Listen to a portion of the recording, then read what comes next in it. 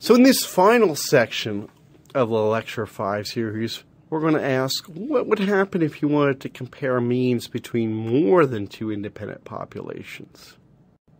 Suppose you're interested in the relationship between smoking and mid expiratory flow, a measure of pulmonary health. Suppose you recruit study subjects and classify them into one of six smoking categories non smokers, passive smokers, or secondhand smokers, if you will, non inhaling smokers, light smokers, moderate smokers, and heavy smokers. You're interested in whether differences exist in mean FEF, forced expiratory flow, amongst the six groups. The main outcome here is the mid expiratory flow in liters per second. You've got six groups that you want to compare means between. One strategy would be to perform a lot of two sample t tests for each possible two group combination. In this example, there's six groups. Believe it or not, there would be 15 comparisons that you would need to do. Non-smokers to passive smokers, non-smokers to non-inhaling smokers, and so on.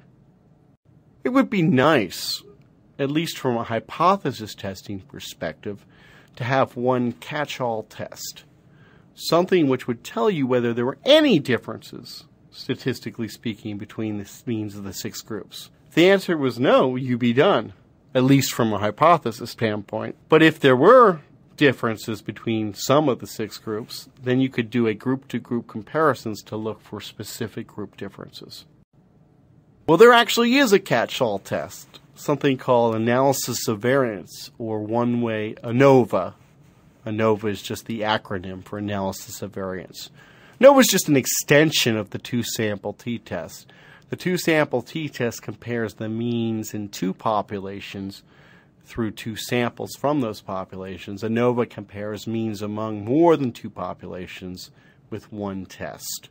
All we can get from ANOVA is a p value, and the p value from ANOVA helps answer the question are there any differences in the means between the populations we're comparing.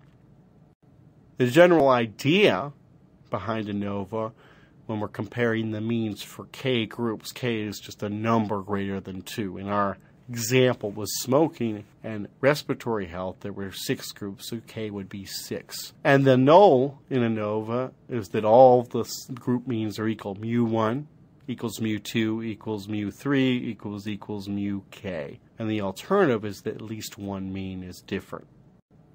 So let's go back to the smoking example, and I postulated that as if you were going to do the study, but actually this study has been done. It was actually done in 1980, or reported in 1980 in the New England Journal of Medicine. And a sample of over 3,000 persons was classified into one of six smoking categorizations based on responses to smoking related questions. And it's the six classifications we enumerated before. For each smoking group, a random sample of 200 men was drawn, except for the non inhalers, as there were only 50 non inhalers in the entire sample. And then they took the forced mid expiratory flow measurements, the FE measurements, were taken on each of these subjects. And here's the summary data. And I'll just cut to the punchline here, and then I'll tell you how to interpret it. Based on a one way analysis of variance, there are statistically significant differences in forced mid expiratory flow levels, FEF levels, between the six smoking groups. The P was less than 0.01. So now what we need to do is now all we know with that p value is that at least one mean is different than the others. And now we would actually need to go for combinations of groups to find out where the differences are and to quantify them with confidence intervals using t-test like approach. But before we get into that, let's just talk about why if we're dealing with means, comparing means, why is it called analysis of variance? Remember, variance is a synonym for standard deviation or variability. Variance is standard deviation squared. Well, the variability or variation in sample means between the groups is compared to the variation within each of the groups. In other words, the variability between the sample means how much noise there is from sample mean to sample mean is compared to the average variability of individual observations around their respective sample means. If the between group variation is a lot bigger than the within group variation, that suggests that there are some differences among the populations. So here's a schematic trying to illustrate that here I plotted the sample mean FEF levels for each of the smoking groups, and then put a dotted line around the sample mean to imply variability of individual values. It's not a true representation, but just to give you the idea. It's not the true standard deviation or the sample standard, just to give a visual. And then on the right hand side, I actually traced those sample means over and looked at how much they vary around that red line, which is the overall mean of all observations, and the, correspondingly the mean of those six sample means. And the idea is if the variation of the individual sample means around the overall mean is greater, than the average variability of individual values around their sample means, then it suggests that the means in the groups are different. That's the idea. So again, we did this for the smoking and FEF example and found a statistically significant result, indicating at least one mean was different than the others. So if we were to write this up, we might say 200 men were randomly selected from each of five smoking classification groups as well as 50 men classified as non inhaling smokers for a study designed to analyze the relationship between smoking and respiratory function.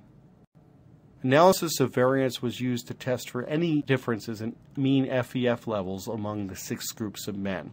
Individual group comparisons were performed with a series of two sample t tests, and 95% confidence intervals were constructed for the mean difference in FEF between each combination of groups. I didn't actually show that, and I won't, but we could have done that, and that would have been appropriate. Analysis of variance showed statistically significant differences in FEF between the six groups of smokers.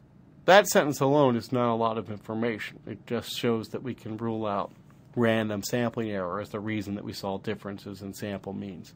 So here's where we get into the real information component. Non smokers had the highest mean FEF value, 3.78 liters per second, and this was statistically significantly larger than the five other smoking classification groups. So here, I'm report the results of five t-tests all at once by saying that this mean alone was different than the other five groups. And you can verify that on your own if you want, because I gave you the individual group summary data to do the t-tests.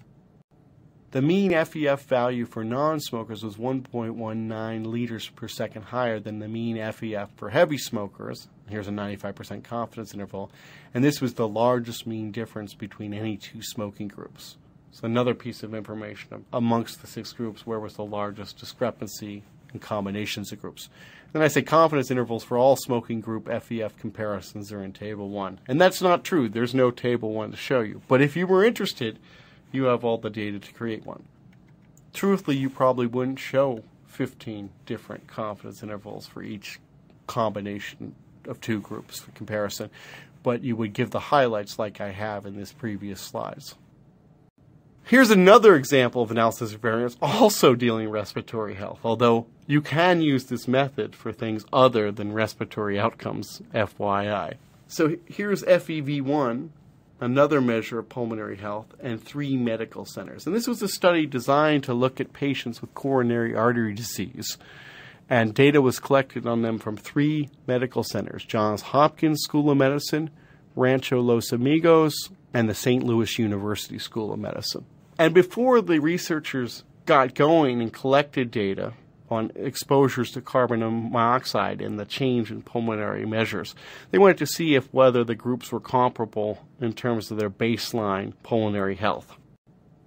So what they wanted to do was actually compare the FEV1 measures on average between the three samples from the three patient center populations. And here's a snippet of the data in Stata. And here I'm going to show you to actually how to do this in Stata and get a p-value.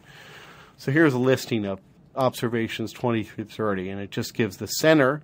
So the first two observations are from Johns Hopkins, the JH, the subsequent eight are from Rancho Los Amigos, RLA. The center is actually a numerical variable that's been labeled with those initials for different values. And then we have the FEV1 measure of each subject. Since we have the luxury of individual level data, we can actually look at the box plots of the distribution of FEV1 values by center. And you can see that those at La Rancho Los Amigos have the highest values, followed by those at St. Louis University, followed by those at Johns Hopkins when you compare the medians. But there's a lot of crossover in the distributions between the three groups. So it's hard to tell whether this is overwhelming evidence of similarity or differences. If we actually wanted to then take into account sampling variation when comparing the three groups, we could do analysis of variance. And here's the ANOVA in Stata. The syntax is the word one way for one way ANOVA. Then you put your outcome variable, in our case that's FEV1. Then you put your grouping variable, in our case that's what I call center. So here typing one way FEV1 center, you get the following table here. There's a lot of information here, but the thing to focus on, since we're really only getting a p-value here, is that value in the upper right-hand corner in the last column of 0.0520. You see right next to it, there's a column labeled F and that number 3.12. Well, that's the discrepancy measure between what we observed and what we would have expected under the null, and that's actually a comparison of the between group variability to the within and we compare that number to the proper distribution to get that p-value of 0.05. So here we have an interesting result. What do you do with a p-value that's 0.052? Wow. If our rejection level is 0.05, we might be bummed. We almost made it, but we didn't quite. Technically speaking, this is not less than 0.05.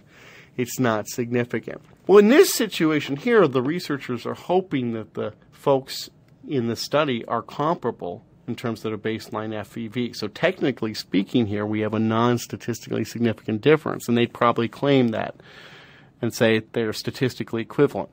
However, if I were doing the research myself, even though we couldn't technically reject the null of no difference in the FEV1 means, I'd pay particular attention to the possibility of differences, and in my subsequent analyses on the respiratory outcomes after exposure to carbon monoxide, I may do that comparison with and without taking into account possible baseline differences. Something we'll see how to do in stat reasoning too, how to account for potential differences in baseline measures. I'd compare those results to see how sensitive they were to accounting for that versus not. Because even though this difference is not technically statistically significant, we have relatively small samples here. The box plot showed some potential evidence of differences, and of course, we could then look at the means and confidence intervals for them as well within each of the groups. So, in any case, this shows you how to operationalize analysis of variance in Stata. But remember, if you have the data in Stata and you can do analysis of variance, you can do all the other summary measures equally as easily. So, there's no reason you should just hang on to the p value as the only piece of information. This concludes our whole series of lecture on two and more group comparisons of means. When we go into lecture six, we'll be doing the same exact things, but with binary outcomes.